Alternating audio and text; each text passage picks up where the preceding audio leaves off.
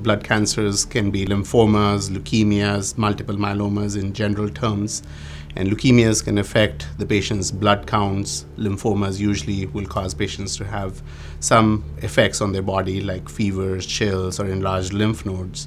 And multiple myeloma is a cancer that causes weakness of the bones, so it can affect the kidneys or cause patients to have low counts or confusion, which initially brings them to the attention of the physician. There's different forms of leukemias. Acute leukemias that, that usually happen quickly and don't have a long lag period versus chronic leukemias that sometimes can go on for many years and go unrecognized for a period of time before they get recognized. It's more common for the kids to have acute leukemias, especially acute lymphoblastic leukemias. The children might have having bruises or bleeding from their gums or feel, feeling lethargic. Or sometimes um, children can have infections, and further blood work will show that they have abnormal populations in their blood.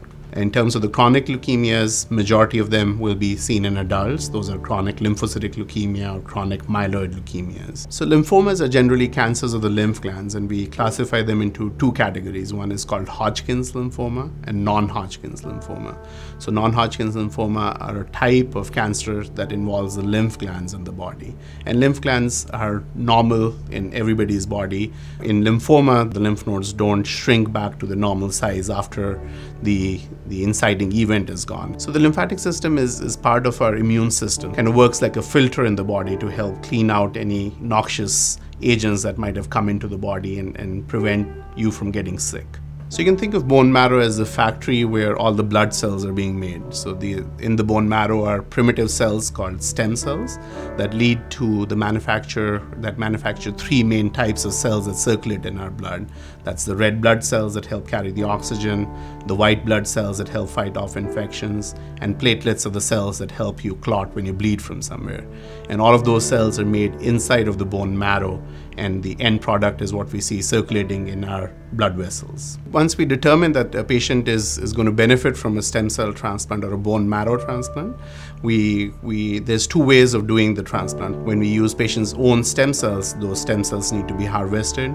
The patients then get high dose chemotherapy, and those cells are put back into the patient so that they can have normal blood counts. Whereas in the other kind of transplant, where we use somebody else's stem cells called the allogenic stem cell transplant, we have to find a match for the patient, and then we use the, the stem cells from the matched donor and infuse it into the patient after giving them chemotherapy or radiation, and that gives them a new immune system. So the cancer, the differences between the cancer and the new immune system is what keeps the cancer in check, and, and the new immune system is able to get rid of the cancer cells. So I have a patient who presented to her physician for a regular healthcare maintenance checkup and was noted to have slightly low blood counts, lower than normal and she was referred to one of her colleagues in the community um, who did a bone marrow biopsy, and she was found to have a disease process called myelodysplastic syndrome, which sometimes can be a precursor to somebody developing acute myeloid leukemia. I ended up going to my primary care physician, and they did some blood work,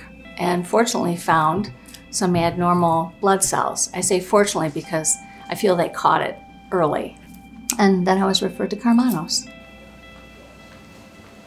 Hi, Maureen. Hi, Dr. How are you doing today? I'm doing well, thank you. As we were working her towards a stem cell transplant, uh, her bone marrow biopsy that was repeated showed that she had actually progressed into acute myeloid leukemia. She went through chemotherapy. Uh, we were able to get her into remission from her leukemia.